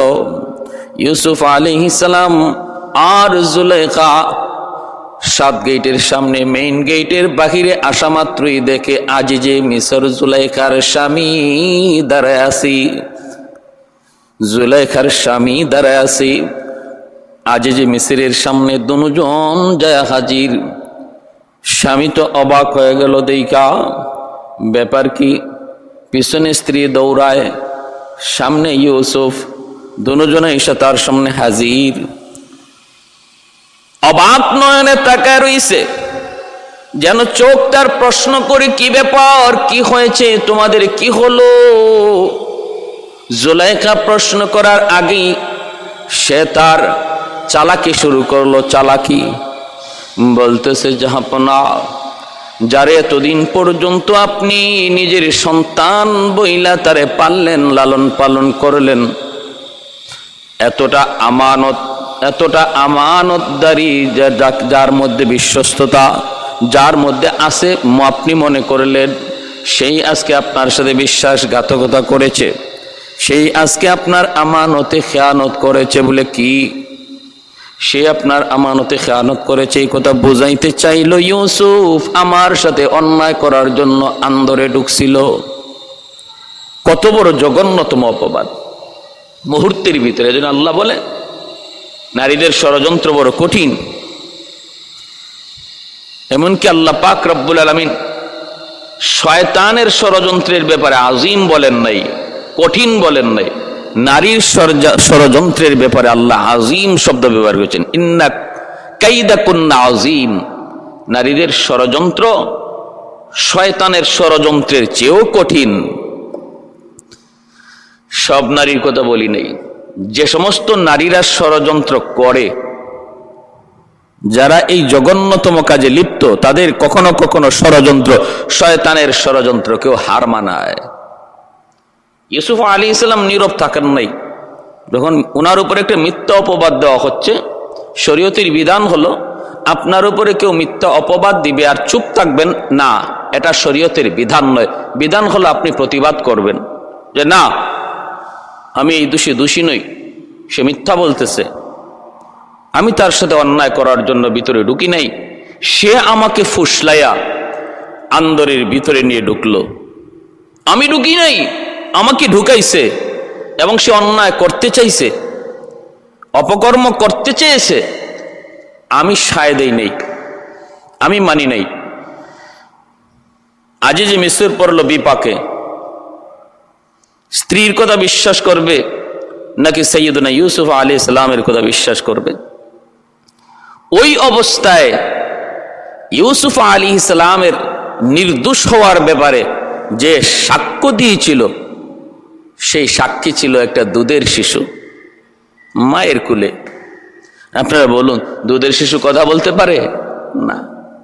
দুধের শিশু কথা বলতে পারে না, কিন্তু আল্লাহর কুদরতে পারে যখন আল্লাহ চান। আল্লাহ যখন চান, তখন দুধের শিশু না শুধু গাছও কথা বলতে পারে, মাছও কথা বলতে পারে, প্রাণীও কথা বলতে পারে, মৃত ব্যক্তিও কথা বলতে পারে, যদি আল্লাহ চান। যদি কে চান আল্লাহ। কাদিরে কুদরত দারি বর কামাল। কাদিরে কুদরত দারি বর কামাল। أنت ربي أنت حسبي ذو الجلال أنت ربي أنت حسبي ذو الجلال সমস্ত ক্ষমতার মালিককে আল্লাহ আল্লাহ সব কিছু পারেন এমন কোনো কাম নাই যে আল্লাহ পারে না আমরা যা পারি না আল্লাহ তা পারেন আমরা যা দেখি না আল্লাহ তা দেখেন আমরা যা শুনি না আল্লাহ তা শোনেন ওই অবস্থায় দুধের বাচ্চারা সাক্ষী দিয়ে বলতেছে আজিজি মিসিরকে বাদশাহ জাহাপনা আমি আপনাকে বলি, আমি বলব না ইউসুফ নির্দোষ, জুলাইখা নির্দোষ, এমন কথা বলব না। আপনাকে একটা সূত্র বলে দিই, এই সূত্রের আকারে আপনি সামনে আগাইলেই কে দোষী, কে নির্দোষ, আপনি নিজেই বুঝে ফেলবেন। কি সেই সূত্র? সূত্রটা হলো, আপনি সৈয়দনা ইউসুফ আলী ইসলামের আপনি জামা পরীক্ষা করেন। যদি তার জামা সামন দিক দিয়ে ছেঁড়া পান, সামন দিক দিয়ে যদি ছেঁড়া পান তাহলে বুঝবেন ইউসুফ দোষী কারণ ইউসুফ অন্যায় করতে চেয়েছেন জুলেখা বাধা দিয়েছি। ওই অবস্থায় জুলেখার হাতের দ্বারা তার জামা ছিঁড়ছে। সামনের দিকে সিরা থাকলে বুঝবেন, ইউসুফ দোষী জুলেখা নির্দোষ। আর যদি পিছন দিক দিয়ে জামা ছেঁড়া পান, তাহলে বুঝবেন, ইউসুফ নির্দোষ জুলেখা দোষী। তখন বোঝা গেল ইউসুফ, তিনি চান্নাই ভাগতে চেয়েছেন, অন্যায় থেকে বাঁচতে চেয়েছেন। আর জুলেখা পিছন দিক দিয়ে ওনাকে টান দিছে এই কথা বলতেই আজ যে কয় ভালো কথা, তাহলে জামা পরীক্ষা করি। জামা পরীক্ষা করে দেখল, ইউসুফ আলী ইসলামের জামা সামন দিকে নয়, সামন দিকে নয়। জামা ছেঁড়া পাওয়া গেল পিছন দিকে। সূত্র মোতাবিক প্রমাণ হয়ে গেল সৈয়দনা ইউসুফ, তিনি নির্দোষ আর জুলেখা হলো দোষী। এরপরও কিন্তু স্ত্রীর বিচার করে নাই আজিজে মিশ্র কিছু গালমন্দ করছে আর বিষয়টাকে ধামাচাপা দেওয়ার জন্য সৈয়দনা ইউসুফ আলী ইসলামকে কারাগারে নিক্ষেপ করেছিল। সেটা ভিন্ন কথা। আমার উদ্দেশ্য শুধু এটা যে এমন তিন কোন শিশু যারা মার কুলে থেকে কথা বলেছেন, দুজনের কথা আল্লাহ কোরআনে বলেছেন আর একজন কুলের শিশুর কথা আল্লাহর নবী তার হাদিস শরীফে বলেছেন। আসুন সে হাদিস শরীফের ঘটনাটা কি, সেটা আমরা জানি। সেই ঘটনাটা হয়তো আমাদের অনেকেরই অজানা। বনি ইসরায়েলের একজন বহুত বড় বুজুর্গ ছিলেন, বহুত বড় একজন আল্লাহর ওলি ছিলেন, যার নাম ছিল হজরত জুরাইজ আলী ইসালাম এই জুরাইজ তিনি একজন বুজুর্গ আল্লাহ বনি ইসরায়েলে আল্লাহকে পাওয়ার জন্য, এবাদত বন্দিগির জন্য, সংসার ছেড়ে জনপদ ছেড়ে পাহাড়ে জঙ্গলে নির্জনে চলে যাওয়ার একটা বিধান ছিল, সুযোগ ছিল। যার কারণে বহু মানুষ, বহু বুজুর্গ তারা সব কিছু ছেড়ে, বিয়ে, শাদী, মা, বাবা, আত্মীয় স্বজন ছেড়ে শুধু আল্লাহর পাগল হয়ে পাহাড়ে জঙ্গলে নির্জনের তারা সময় কাটাইছেন। এদেরই মধ্যে একজন হলেন হজরত জুরাইজ, যিনি বসতি ছেড়ে দিয়া আল্লাহকে পাওয়ার জন্য, আল্লাহর প্রেমে আর আল্লাহর মহাব্বতে নির্জন এক জঙ্গলে একটা সামান্য করে গোরের মতো বানায়া সেখানে রাত দিন আল্লাহর বন্দিগি করতেন, জিকির আজকার করতেন, নামাজ কালাম পড়তেন, আর আল্লাহর প্রেমে ডুবে থাকতেন। এভাবেই চলছে। কিছু লোক ওনার ভক্ত, কিছু মরিদান রয়েছে। স্বাভাবিকভাবেই আল্লাহওয়ালা মানুষদের পক্ষে কিছু মানুষ থাকে, তাদের ভক্ত কিছু থাকে। আবার কিছু মানুষ এমনও থাকে যারা আল্লাহওয়ালাদেরকে মহব্বত করে না, বরং অন্তরে হিংসা রাখে, বিদ্বেষ রাখে। এটা সর্বকালে ছিল, আজও আছে, ভবিষ্যতেও থাকবে। এমন আলেম বিদ্বেষী, ওলামা বিদ্বেষী, আল্লাহওয়ালা বিদ্বেষী কিছু মানুষ, যাদের অন্তরে যদিও নামাজ কালাম পড়ে, বলে আমি ইসলাম মানি, বলে আমি নামাজ পড়ি, কিন্তু আল্লাহওয়ালাদের ব্যাপারে অন্তরে মহব্বত নাই, বরং অন্তরে হিংসা আর বিদ্বেষ। অতএব সমাজে দুটা গ্রুপই ছিল। ওই অবস্থায় জোরাই তিনি নির্জনে একাএকি আল্লাহর বন্দিগি করতেছেন। আমার ভাইয়েরা বন্ধুরা, একদিন মা সন্তানকে দেখার জন্য তিনি জঙ্গলে গেলেন নির্জনে। যেখানে বসে বসে জুড়াই আল্লাহকে পাওয়ার জন্য, আল্লাহর বন্দেগি করার জন্য তিনি জায়গা বেছে নিয়েছেন। মা, দরজার সামনে যায় দেখতে পেলেন দরজা বন্ধ। কেন দরজা বন্ধ? ভিতরে জুড়াই নামাজ পড়তেছেন, নামাজ। মা দরজার বাহির থেকে ডাক দিলেন, বাবা জুরাইজ। বাবা জুরাইজ বলে তিনি ডাক দিলেন, কিন্তু জুরাইজ তো নামাজে। তিনি বলবেন যে আমি নামাজে, তাও তো পারেন না। আবার নামাজ ভাঙবেন, দরজা খুলবেন। তিনি মনে করতেছেন, এটাও না, হয় না। ঠিক আছে, আমি নামাজটা শেষ করি, তারপরে দরজা খুলে দেখব মা কেন এসেছেন। এইদিকে মা কয়েকটা ডাক দেওয়ার পরেও যখন জুরাইজ দরজা খুললেন না, মা তখন আর ডাকাডাকি না করি তিনি চলে আসলেন। জুরাইজ নামাজ শেষ করে দরজা খুলে দেখেন, মা দরজার বাহিরে নাই, মা তো চলে গেছেন। দ্বিতীয় দিন মা আবার আসলেন। একই অবস্থা, দরজা বন্ধ। ওই দিনও জুরাইজ নামাজের মধ্যে তিনি মগ্ন। মা ডাকতেছে, বাবা জুরাই কিন্তু তিনি তো ভাবতেছেন, আমি নামাজ শেষ করিনি। নামাজ শেষে আমি দেখব মা কেন এসেছেন। নামাজ শেষ করলেন মা, এর ভিতরে চলে গেলেন। দ্বিতীয় দিনও মা ডাকলেন, কিন্তু সন্তানের ডাকের জবাব পান নাই। তৃতীয় দিন মা আবার আসলেন। একই অবস্থা, দরজা বন্ধ। ভিতরে জুরাইজ নামাজে মগ্ন। আবারও ডাক শুরু করলেন জুরাইজ ভাবলেন, নামাজটা শেষ করেই মার মার ডাকটা শুনব, দরজা খুলে দিব। ওই দিনও কিন্তু মা ডাকাডাকি করো, যখন দরজা খুলল না। মা তো আর জানেন না ভিতরে জুরাইজ নামাজে মগ্ন। তিনি তো আর জানেন না, বুঝেন না। মা চলে যাচ্ছেন, কিন্তু তিন দিন সন্তানের সারা না পাওয়ার কারণে সন্তানের সন্তানকে না দেখার কারণে দরজা না খোলার কারণে মা ভীষণ কষ্ট পেলেন। কষ্ট পেয়ে মা ফিরে যাইতেছে আর একটা বদুয়া দিয়ে যাচ্ছেন। মা যাইতেছে আর বলতেছে, তিন দিন আসলাম, তোরে ডাকলাম, কিন্তু তুই দরজা খুললি না। তুই তোর বন্দিগিতে লিপ্ত, ঠিক আছে? তুই তোর বন্দিগি লইয়া থাক। তুই তোর বন্দিকে লইয়া থাক, আমি মার প্রয়োজন নাই, আর আমারও তোর প্রয়োজন নাই। আল্লাহ যেন তোরে মৌতের আগে বেশ্যা কোনো নারীর ফান্দে ফালায়। নওজুবিল্লাহ এ ভাই, মার দোয়া বদুয়া বাবার দোয়া বদুয়া সন্তানের জন্য সরাসরি আল্লাহর দরবারে কবুল। এটা আমার নবী বলেছেন তিন ব্যক্তির দোয়া বদুয়া আল্লাহর দরবারে সরাসরি কবুল মাঝখানে কোনো বাধা থাকে না রে যুবক সালাসাতুন দাওয়াতুম মুস্তাজাবাতুন লা শাক্কা ফিহ দাওয়াতুল মাজলুম ওয়া দাওয়াতুল মুসাফির ওয়া দাওয়াতুল ওয়ালিদ আলা ওয়ালাদিহি একদল হলো মজলুম মজলুমের দোয়া বদুয়া আল্লাহর দরবারে সরাসরি কবুল। দ্বিতীয় হলো মুসাফিরের দোয়া বদুয়া আল্লাহর কাছে সরাসরি কবুল। তৃতীয় হলো বাপমার দোয়া বদুয়া আল্লাহর কাছে সরাসরি কবুল। এজন্য দুর্বলের উপরে জুলুম করো না, দুর্বলের উপরে জুলুম করো না, কারণ দুর্বলের আহাজারি আল্লাহর আরস পর্যন্ত পৌঁছতে কোনো বাধা থাকে। দুর্বল যদি আহ কয়, মালিক, আমি দুর্বল, আমি অসহায়, এজন্য কেউ আমার পক্ষে কথা বলে না।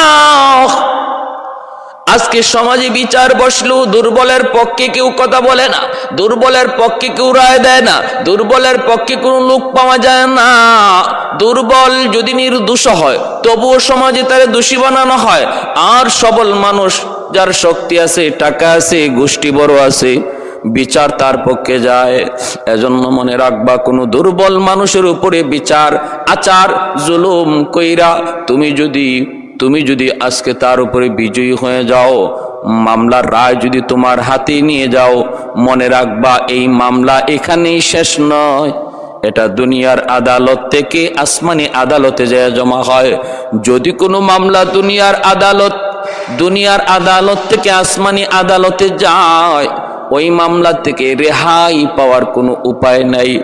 এজন্য রে আমার ভাই, খেয়াল করে শোনেন, মামলা দুনিয়াতে শেষ করে যাবেন। কোনো মামলা আসমানি আদালতে যেন না যায়। মৌতের আগে আগে সব মামলা দুনিয়াতে ডিসমিস করেন। কার উপরে জুলুম করেছেন? মৃত্যুর আগে আগে মাপ চেয়ে নেন। কার হক নষ্ট করেছেন? মৃত্যুর আগে আগে তার হক তার ফিরে দেন। আল্লাহর আদালতে যেন মামলা না গড়ায়। যদি গড়ায় তাহলে মস্ত বড় বিপদ। দুই নম্বর হলো মুসাফিরের দোয়া। বদোয়া মুসাফিরকে কষ্ট দিও না। পারলে তার কাছ থেকে দোয়া নিও। তিন নম্বর হলো বাপ মা। বাপ মাকে কষ্ট দিও না। বাপ মার এমন কোনো কষ্ট দিও না, যেই কষ্টে যায়। এই অবস্থায় যদি তোমার মরণ হয়, যত বড় নামাজি, যত বড় দিনদার, যত বড় আল্লাহওয়ালা, যত বড় হাজি আর যত বড় গাজী হও না কেন? যদি মার দিলে কষ্ট থাকে, বাবার দিলে কষ্ট থাকে তাহলে কোনো আমলি আল্লাহর কাছে তোমাকে মাফ করাইতে পারবে না নাজাদ দিতে পারবে না। মৌতের আগে আগে মাকে খুশি করো, বাবাকে খুশি করো। তাহলে সমস্ত এবাদতের হিসাব আল্লাহর কাছে পাইবা, আর নতবা কোনো হিসাব মিলবে না। ভাইয়েরা, বন্ধুরা জুরাইজির মা চলে যাইতেছেন আর ভাবতেছেন আর বদুয়া দিচ্ছেন। তিন দিন তোর কাছে আসলাম, ডাকাডাকি করলাম, কেন আসলাম আমি মা এদূর পর্যন্ত তুই জানার চেষ্টা করলি না।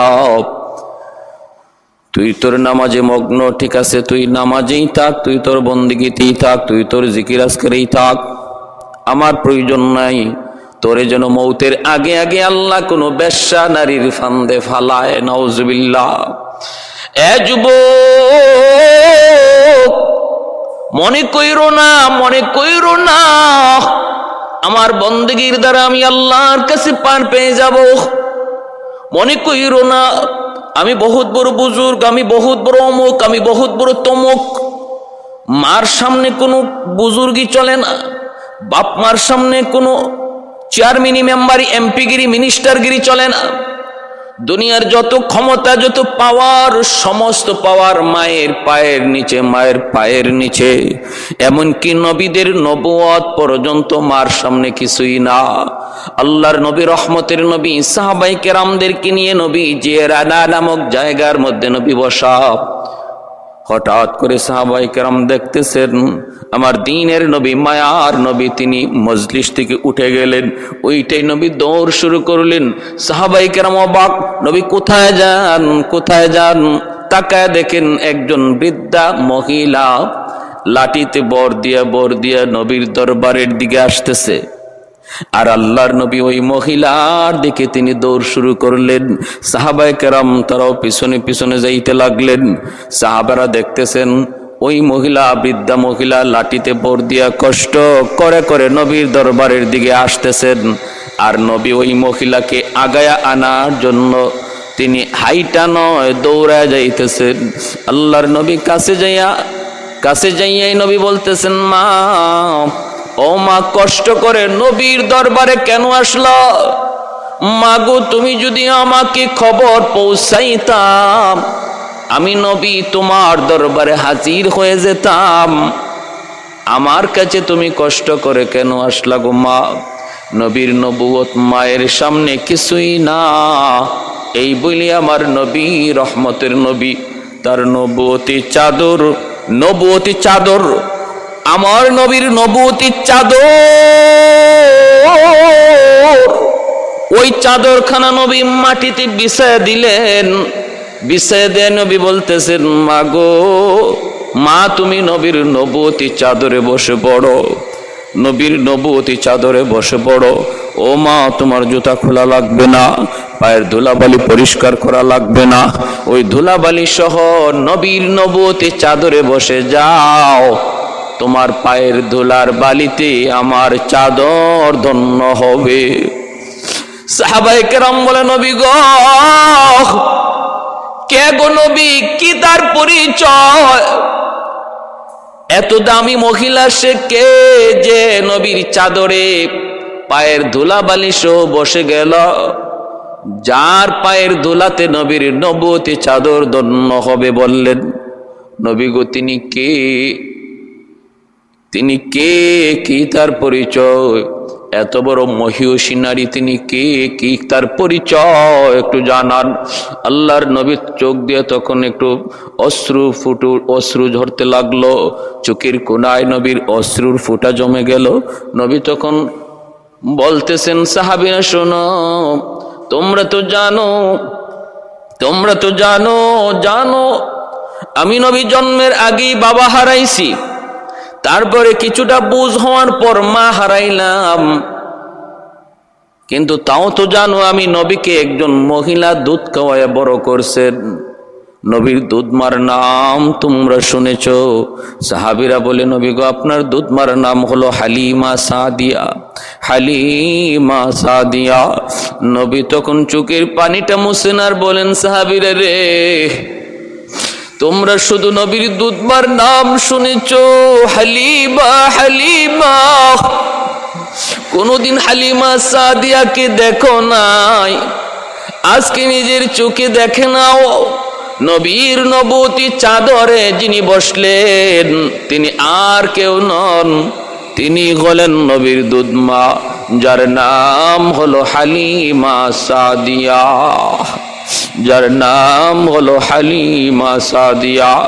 তিনি তোমাদের নবীর দুধমা তিনি হলেন নবীর দুধমা আল্লাহর নবী বুঝাইলেন সাবিরারে মনে রেখো, মার সামনে আমি নবীর নবুয়ত কিছু না। আমি নবীর নবুয়ত কিছুই না। এজন্য এজন্য যুবক, মনে রেখো, তুমি যত কিছুই হও না কেন সন্তান তুমি যত বড়ই হও না কেন, দুঃখিনী, মার সামনে তুমি কিছুই না। কারণ তোমার জীবনে যত পাওয়া, সব কিছুর পিছনে মায়ের দোয়া। তোমার জীবনের সব কিছুর পিছনে বাপ মার দোয়া। সাবধান মনে রেখো। আমার কোনো আচরণে যেন মা কষ্ট না পায়। যদি কষ্ট পায়া অন্তর থেকে বদুয়া দিয়া দেয়, ওই বদুয়া কিন্তু আল্লাহর আরস পর্যন্ত পৌঁছতে কোনো বাধা থাকে না। জুরাইজের মা বদুয়া দিলেন কি? আল্লাহ যেন তোর মৌতের আগে কোনো বেশ্যা নারীর ফান্দে ফালায়। কবুল হয়ে গেছে আল্লাহর দরবারে। হয়ে গেছে? হয়ে গেছে? জুরাইজ ফান্দে পড়ে গেলেন। কি ছিল সেই ফান? ফান হলো ওই জঙ্গলে এক রাখাল। একটা মেয়ের সাথে অপকর্ম করল। আর মেয়েটা গর্ভবতী হলো। গর্ভবতী হইয়া সন্তান চলে আসলো। সন্তান যখন ভূমিষ্ঠ হয়ে গেছে, তখন দুজন পড়ছে বিপদে। এতদিন পর্যন্ত যাই অন্যায় করছি না করছি, কোনো আলামত ছিল না। এখন তো সন্তান বহুত বড় আলামত আমাদের অপকর্মের। মানুষ জিজ্ঞেস করবে, এলাকার মানুষ জিগাইবে, সন্তান পাইছো কই? তোমার বিয়া হইছে না সন্তান পাইছো কই? জবাব দিমু কি? এটা তো আর লুকানো যাবে না। কি করি কি করি কি করি? রাখাল বলতেছে, শোনো, আমার কাছে একটা বুদ্ধি আছে। কি বুদ্ধি? বুদ্ধি হলো, তুমি যদি আমার কথা বলো যে এই সন্তানের বাপ আমি, তাহলে আমি হইলাম একটা সাধারণ রাখাল। এলাকার মানুষজন মুহূর্তের মধ্যে আমাকে হত্যা করবে। কারণ দুর্বলের উপরে বিচার একশো একশো প্রয়োগ করতে সমাজ জানে। সবলের উপরে বিচার ওই না। কিন্তু দুর্বল যদি কোনো অন্যায় করে এখানে একদম একশো একশো বিচার করতে সবাই প্রস্তুত। আল্লাহ নবী কথা হাদিস শরীফে বলছেন যে এই ধরনের অপরাধের কারণে অতীত যুগের বহু কৌমকে আল্লাহ ধ্বংস করে দিছে।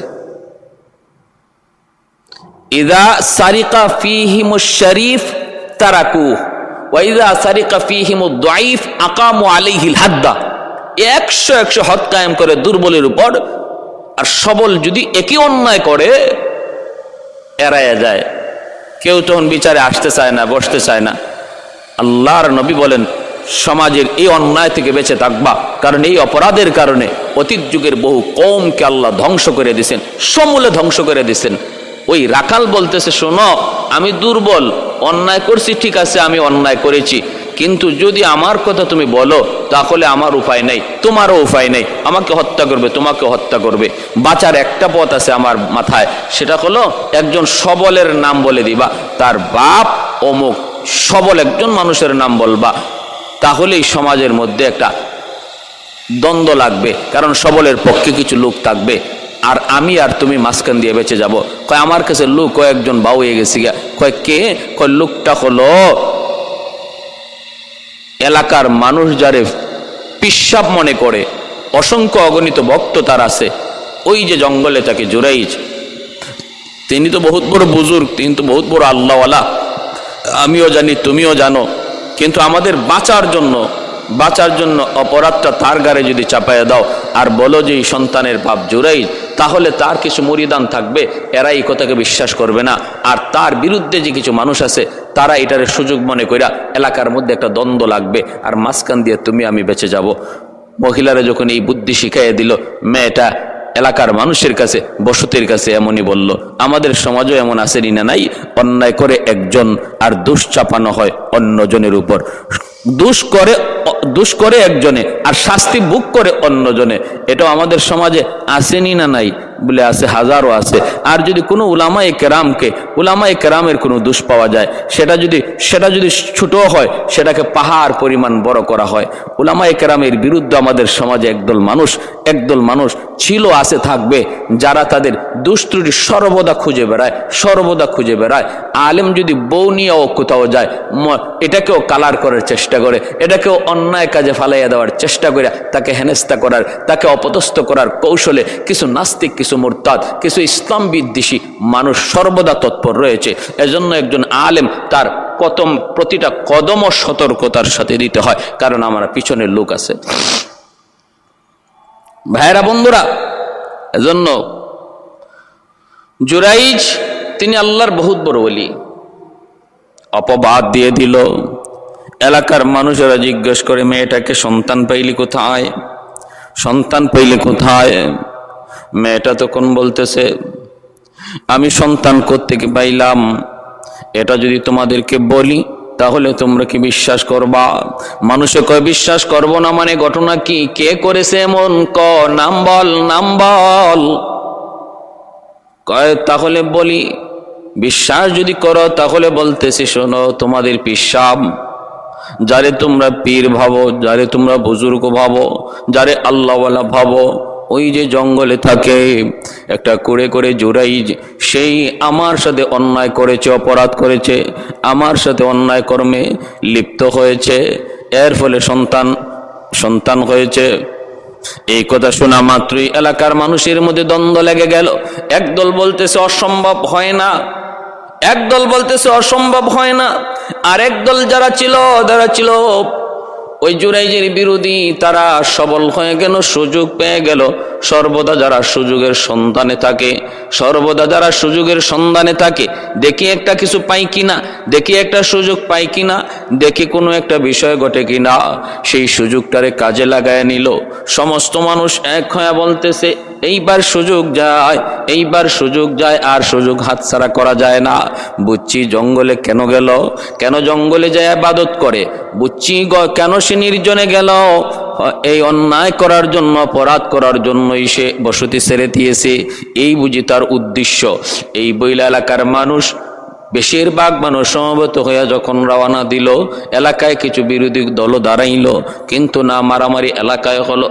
তারপরে গেল জঙ্গলে। যাইয়া জোরাইজের ওই ঘর, যেই ঘরে বসে বসে তিনি আল্লাহর বন্দেগি করেন, ওই ঘরে যাইয়া হামলা শুরু করল।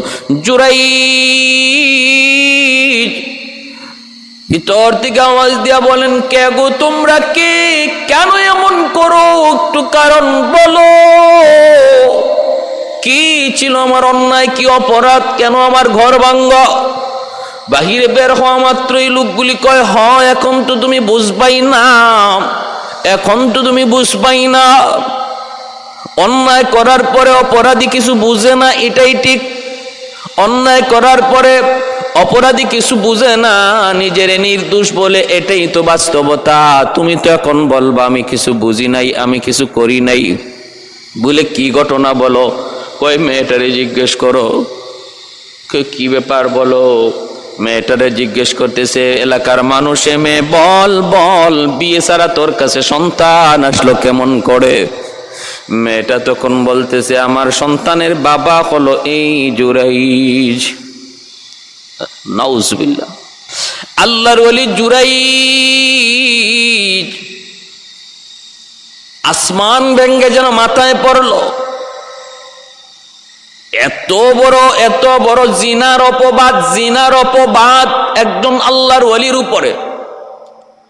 জুরাইজ অবাক হয়ে গেলেন, আসমান ভেঙ্গে যেন মাথায় পড়ল। তিনি বুঝে ফেললেন, কোন বহু, বহুত বড় পরীক্ষার সম্মুখীন হয়েছেন আল্লাহর তরফ থেকে। অন্যায় তার হয়ে গেছে, অপরাধ হয়ে গেছে, কোনো একটা অপরাধ হয়েছে। যে অপরাধের কারণে তিনি এত বড় পরীক্ষার সম্মুখীন হয়েছেন। আল্লাহওয়ালারা যখনই কোনো বিপদে পড়ে, যখনই কোনো মুসিবত হয়, তখনই তারা নিজের দিকে খেয়াল করে, আমার কোন অন্যায় হলো, কোন অপরাধ হলো? আমার কোন গুণা হয়ে গেল? আমার দ্বারা কোন ত্রুটি হয়ে গেল? আমার জীবনের যত বিপদ, যত মুসিবত সব কিছু আমার কোনো না কোনো অন্যায়ের কারণে। জহারাল নাস। আল্লাহ নিজে বলেন, ছোট হোক, বড় হোক, যত বিপদ, সমস্ত বিপদ তোমার হাতের কামাই।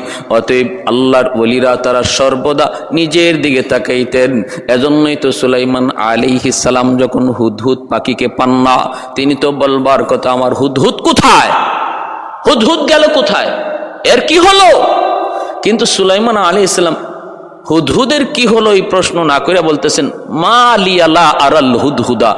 আমার কি হলো? আমি যে সুলাই, আমার এত বড় নিয়ামত হুদহুদকে পাচ্ছি না।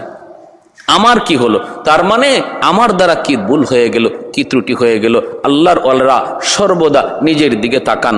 এজন্য মনে রাখবেন, আমার কোনো একটা নিয়ামত যদি কখনো ছিনায় যায়, কখনো চলে হাতছাড়া হয়ে যায়, অথবা কোনো একটা বিপদে আমি পড়ে যাই, যেটাতে পড়বার কথা না, সেটার মধ্যে আমি পড়ি, তখনই বুঝতে হবে এটা আল্লাহর পক্ষ থেকে আমার চলার পথে একটা হুচট খাওয়ানো, আমার চলার পথে একটা হুচট খাওয়ানো, যেন আমি থেমে যাই, আমি ভুল পথে চলতেছি, আমার দ্বারা ভুল হচ্ছে, আল্লাহ থামায় দেওয়ার জন্য আমার জীবনের গতি বেগ আমার জীবনের গতি প্রতিটারে আটকায় দেওয়ার জন্য এমন একটা হুচট খাওয়ান। সতর্ক মানুষ যারা যারা সতর্কতার সাথে চলে, তারা এটা বুঝতে পেরে সেখান থেকে ব্যাক করে, ভুল হলে তওবা করে। জোড়াই, তিনিও বুঝতে পারলেন যে আমার এমন কোনো না কোনো একটা ভুল অবশ্যই হয়েছে, যাতে আল্লাহ নারাজ। যার কারণে আমি এই পরীক্ষার সম্মুখীন। কি সেই ভুল? চিন্তা করে পেয়ে গেলেন আমার মা। আমার মা একদিন নয়, তিন দিন এসেছেন। আমি নামাজি ছিলাম, মার কথায় সারা দেই নাই। হয়তো এতে আল্লাহ নারাজ হয়ে গেছেন, নারাজ। এখন আমার আপনার প্রশ্ন হলো, নামাজ পড়ি কার জন্য? আল্লাহর জন্য। এই দিকে আল্লাহর জন্য নামাজ পড়লাম, নামাজ ভাঙলাম না, মা ডাক দিল, বাবা ডাক দিল। এতে আল্লাহ নারাজ হয়ে গেলেন কেন? আমি তো আল্লাহর জন্য নামাজ পড়তেছি। কেন আল্লাহ নারাজ হলেন? ফেকার কিতাবে মাসালা লিখেন একটা মাসালা শোনা, একটা মাসালা শোনা, সত্তর রাকাত নফল নামাজ পড়ার চেয়েও বেশি সবাব তাহলে মাসালাটা একটু শুনুন। আমরা তো মাসালা জানতে রাজি না, ওয়াজ শুনতে খুব ভালো লাগে, কিন্তু মাসলা মানতে রাজি না, মাসলা জানতে রাজি না, মাসলা শিখতেও রাজি না, নামাজ পড়তেছি পড়তেছি, এক রাকাত ছুটে গেলে নামাজ কেমন করে পড়তে হয় তা জানি না, জানার চেষ্টাও করি না, বরং আরেকজনের দেখা দেখি নামাজ শেষ করে নেই। ঈদের নামাজ পড়ি কেমন করে পড়তে হয়? কয়টা তাকবির দিতে হয়? জানি না, জানার চেষ্টাও করি না। আরেকজনে হাত উঠাইলো কি উঠাইলো না, সেই দিকে লক্ষ্য করে অনেকে ঈদের নামাজ পড়ে ফেলে। জানাজার নামাজটা পর্যন্ত জানি না। মানুষের দেখা দেখি জানাজার নামাজ পড়ে ফেলি। এই হলো আমাদের জীবনের আদত। কিন্তু নারী যুবক সত্তর রাকাত, এক রাকাত, দু রাকাত নয়, সত্তর রাকাত নফল নামাজ পড়ার চেয়েও বেশি সওয়াব আল্লাহ বেশি পছন্দ করে। বান্দা যখন একটা মাসালা জানে তাহলে মাসালাটা আসুন শুনি। আমি যদি নামাজে থাকি, আর এই অবস্থায় যদি আমার বাপ মা আমাকে ডাক দেন, তাহলে আমি নামাজ ভাঙব নাকি ভাঙব না? শরীয়তের মাসালা কি? বাইরে বন্ধুরা, মাসালা হলো, আমি ফরজ নামাজে না নফল নামাজে এটা আগে দেখতে হবে। আমি যদি নফল নামাজে থাকি, আর ওই অবস্থায় বাপ মা আমাকে ডাক দেন, তাহলে মাসালা হলো, ডাক কেন দিছে এটা কে কি জন্য মা ডাক দিল, কি জন্য বাবা ডাক দিল, এটা নিয়ে ভাববার কোনো দরকার নাই। নফল নামাজে থাকা, থাকলে সাথে সাথে নামাজ ভাঙতে হবে, সাথে সাথে নামাজ ভাঙ্গা বাপ মার ডাকে জবাব দিতে হবে। কারণ এই দিকে হলো নামাজ হলো নফল, বাপ মার ডাকে সারা দেওয়া হলো ফরজ। ফরজ আর নফলে যদি টাক্কর লেগে যায় টক্কর বেজে যায়, তখন ফরজ প্রাধান্য পায়। এজন্য নফল নামাজে থাকলে বাপ মার ডাকে সারা দেওয়া ফরজ, নামাজ ভাঙতে হবে। আর যদি আমি ফরজ নামাজে থাকি আরেকদিকে বাপ মা আমাকে ডাক দে, এ আব্দুর রকিব বাবা আব্দুল করিম, তখন আমার চিন্তা করতে হবে ডাকটা কি জন্য? এটা কি ইমার্জেন্সি ডাক? নাকি মা এমনি ডাক দিছেন। যদি আমি বুঝি যে না, ডাকটা এমনিতেই হয়তো কোনো কিছু জানতে চায়, কিছু জিজ্ঞেস করবে, যেটা আমি নামাজ শেষ করে গিয়া জানাইলেও হবে। বিষয়টা যদি এমন হয়, তাহলে মাসালা হলো নামাজ শেষ করো, তারপরে ডাকে জবাব দাও। আর যদি আমি বুঝি যে না, ডাকটা ইমার্জেন্সি ডাক।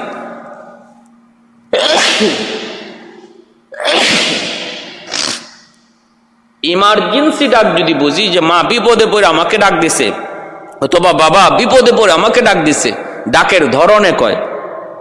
তখন মাসালা হলো ফরজ নামাজ সাথে সাথে ভাঙতে হবে আর বাপ মার ডাকে জবাব দিতে হবে। এখানে ফরজে ফরজে টাক্কর, কিন্তু প্রাধান্য পাবে মার বাবা ইমার্জেন্সি ডাক। হয়তো মা হুচট খায় পড়ে গেছে অথবা বাবা বাথরুমে গিয়া মাথা ঘুরায় পড়ে গেছে। আর ডাক দিছে, কোথায় বেটা? কোথায়? তাড়াতাড়ি আসো, আমার একটু ধরো। এই অবস্থা এই এই রকম কোনো বিপজ্জনক কোনো ডাক শুনলে পরে মাসালা হলো, ফরজ নামাজ ভাঙ্গো, ডাকে সারা দাও। জুরাইস তিনি চিন্তা করলেন, আমি নামাজে ছিলাম, নফল নামাজ। হয়তো আমার মা আমার ডাকে জবাব না পায়, মা কষ্ট পেয়েছেন। আর মা কি যেন বীরবিরা একটা বদুয়া দিয়ে গেছেন। সাথে সাথে জুরাইজ বলতেছেন, আমার গন্ডগোল কোথায়? আমি বুঝে ফেলেছি। আমাকে তোমরা একটু সুযোগ দিবানি। হ আমি সব কথা মেনে নিব। আমাকে মারদুর পরে করো। একটু সুযোগ দাও বলে কি সুযোগ? মায়ের কাছে যাব। দৌড় দিয়ে জুরাইজ মায়ের কাছে আসলেন। আইসা মায়ের পা ধরে মাপ চাইতেছেন। জুরাইজ বলতেছেন, মা মা, আমার দ্বারা বহুত বড় ভুল হয়ে গেছে গো মা। বহুত বড় অন্যায় হয়ে গেছে। মা, তুমি মাপ করো। মনে রাখবেন রে যুবক বাপ মার দিল এত নরম। সন্তান যত বড় অপরাধ করুক না কেন, যদি বাপ মার কাছে মাপ চায় মাপ চাইতে দেরি হয়, মাপ করতে দেরি হয় না। সন্তান মা, বাবার পা ধরতে রাজি হয়, দেরি হয়। বাপ মার দিল নরম হতে দেরি হয় না। বাইরা বন্ধুরা, কারণ সকল বিপদ সবাই দেখে সহ্য করতে পারে, কিন্তু সন্তানের বিপদ বাপ মা দেখে সহ্য করতে পারে না। সন্তান যদি মার কাছে, বাবার কাছে মাপ চায়, বাপ মার সাথে সাথে মাপ করে দেয়। এ যুবক বাপ মার দিল খুশি করা দুনিয়ার সবচেয়ে বেশি আসাম। পৃথিবীতে এত সহজ আর কোনো কাম নাই, বাপ মারে খুশি করা যতটা সহজ। হাজার টাকা ব্যয় করতে হয় না রে যুবক। একালি কমলা নিয়ে যদি মায়ের কাছে সন্তান যায় যায় যদি বাবার কাছে যায়, বলে, আব্বাসকে বাজার থেকে একালি কমলা এনেছি মা। তোমার জন্য দেখবার সাথে সাথে মার দিল খুশি হয়ে গেছে, মার দিল খুশি হয়ে গেছে, মা খুশি হয়ে গেছে। এই কমলা মা কিন্তু একা খায় না, তোমার সন্তানকে আগে খাওয়ায়, তারপরে নিজে খায়, তারপরে তোমারে দেয়। আরে যুবক, কমলাটা যদি সন্তানের হাতে না দিয়া, বিবির হাতে না দিয়া, তুমি তোমার মায়ের হাতে দেও, বাবার হাতে দেও। দেখবা মার দিল খুশি হয়ে গেছে, মার দিল খুশি হয়ে গেছে। আমার সন্তান বাজারে গিয়েও আমার কথা ভুলে নেই। বাজারে যাওয়ার আগে যদি জিজ্ঞেস করো, মা গো, মা তোমার ঔষধ আসেনি? বাবা, তোমার ঔষধ আসেনি। বাজারে যাওয়ার আগে মার কাছে জিজ্ঞেস করে যাও। মার এতটুকু জিজ্ঞেস করায় মার দিল খুশি হয়ে যায়। সন্তান বাজারে যাইতেছে, আমার কথা খেয়াল করছে। বাজার থেকে আসার সময় মার কথা খেয়াল করছে, খুশি হয়ে গেছে, রেদর রব্বি ফি রেদাল ওয়ালিদাইন ও সাকাতুর রব্বি ফি সাকাতিল ওয়ালিদাইন আও কামা ক্বালান নবী আলাইহিস সালাম। নবী বলেন, সন্তান যদি বাপ মারে খুশি করে, আল্লাহর সাথে সাথে তার উপর খুশি হয়ে যায়। সন্তান যদি বাপ মারে নারাজ করে, আসমানের মালিক সাথে সাথে নারাজ হয়ে যায়। জুরাই মায়ের পা ধরে যখন মাপটায় চুকির পানি ঝরাইয়া, মা গো, আমি বুঝে ফেলেছি, আমি এত বড় কঠিন পরীক্ষায় কেন পড়লাম? ও মা, আমি বুঝে ফেলেছি মা, আমাকে মাফ করো। তুমি মাফ না করলে বিপদ থেকে উদ্ধার পাওয়ার কোনো সুযোগ নাই। মার দিল সাথে সাথে খুশ হয়ে গেছে। মা টান দিয়ে বুকে তুইলে কপালে চুমা খায়। মা যখন মাফ করে দিছে জুরাই যাবার ওই মানুষগুলার কাছে আসলেন। মানুষগুলি দাঁড়ায় রইছে। জুরাই যাইসা বলেন, আমি এসেছি আমি এসেছি, এবার ফয়সলা হয়ে যাবে। কি বলতেছে তোমরা বলো? এই মহিলা তুমি বলো, কি বলতেছ? মহিলা বলতেছে, আমার সন্তানের বাবা আপনি জুরাইজ বলতেছেন, ঠিক আছে, আমি যদি সন্তানের বাবা হই, আর এই মুহূর্তে আমি যদি বলি, আমি না, আমি নির্দোষ, আমি অন্যায় করি নাই, তোমরা আমার কথা বিশ্বাস করবা না, কারণ মহিলা নিজে বলতেছে, মেয়েটা নিজে বলতেছে, তোমরা আমার কথা বিশ্বাস করবা না। আমি যদি বলি, আমি নির্দোষ, আমার কথা বিশ্বাস করবা না, কিন্তু এই মুহূর্তে কোনো সাক্ষীও আমার কাছে নাই। আমার কাছে কোনো সাক্ষীও নাই যে আমি বলব আমি নির্দোষ প্রমাণ করব। তবে আমি আল্লাহর কাছে সাহায্য চাইব, আমার মাওলার কাছে সাহায্য চাইব। আমি যদি বলি আমি আমি দোষী, কিন্তু আমার আল্লাহ জানেন আমি নির্দোষ, এজন্য আমি আমার মালিকের কাছে সাহায্য চাইব। তোমরা তোমরা সমস্ত মানুষ উপস্থিত থাকো, আজ আমার পক্ষে সাক্ষী দিবে এমন একজন দুধের শিশু, কুলের শিশু। যেই শিশুটা জন্মের পর জন্মের পর মাত্র মায়ের দুধ খায়। কথা বলার তার কোনো শক্তি নাই, বয়স হয় নাই। কিন্তু আজকের মামলার সাক্ষী দিবে সে, তোমরা শুধু শুনবা। কই কে সেই দুধের শিশু? কই ওই শিশুটাই যেই শিশু তার কুলে। যেই শিশুটা তার কুলে, এই শিশুটাই আজকের সাক্ষী দিবে। সে বলে দিবে তার বাবাকে। যদি ওই কুলের শিশুটা নিজেই বলে দেয় তার বাপকে, তার বাবার পরিচয় শোনায় দেয়, তাহলে কি বিশ্বাস করব? মানুষজন কয়, তাহলে তো কোনো সন্দেহই নাই। আর এটা কেমন করে সম্ভব, এটা তো হইতেই পারে না। এই শিশু তো কথা বলার শক্তি নাই, এই শিশুর তো কথা বলার বয়স হয় নাই, তাহলে কেমন করে সম্ভব? জুরাইজ বলেন, সব সম্ভব যদি আমার আল্লাহ চায়, সব সম্ভব যদি আমার আল্লাহ চায়, সব সম্ভব যদি আমার আল্লাহ চায়। আলহামদুলিমান কাদ্দার খাইরাম ওয়া খাবালা। अल्हम्दुलिमन कद्दर खैरम व खबाला والشكر لمن صور حسنا وجمالا. والشكر لمن صور حسنا وجمالا. فرد صمد عن صفة خلق بريء. رب أزلي خلق الخلق كمالا. لا ضد ولا ند ولا حد لمولاه लाजिदा वाला, निदा वाला हदली मौला। अल्लान कमा कान वलम यल कजवाला। अल्लान कमा कान वलम यल कजवाला। ला मिसल वला संवर मिसलम व नजीरा। मन काल सिवा जालिक कद काल बुहाला। প্রশংসা করব কার?